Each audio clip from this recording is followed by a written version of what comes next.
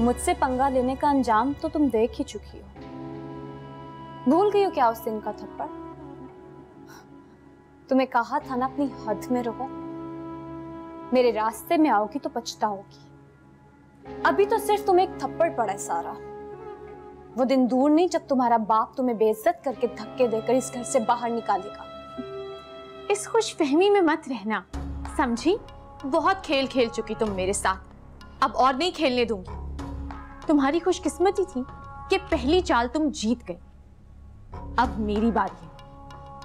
बहुत जल्द तुम्हारा असली चेहरा बाबा के सामने लेकर आऊँगी मैं। तुम क्या मेरा मुकाबला करोगी?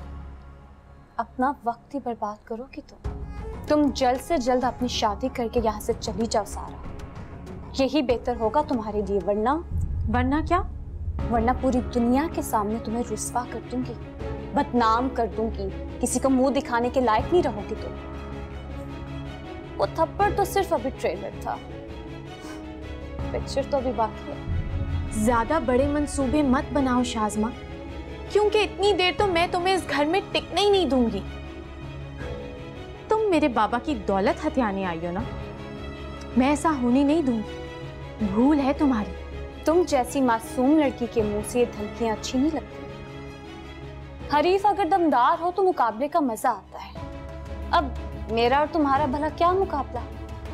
मुझसे पंगा लेकर तुम अपना ही नुकसान करोगी।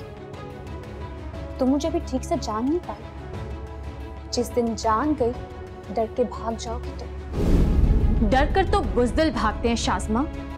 और एक बात तुम अच्छी तरह समझ लो कि मैं बुजदिल नहीं हूँ।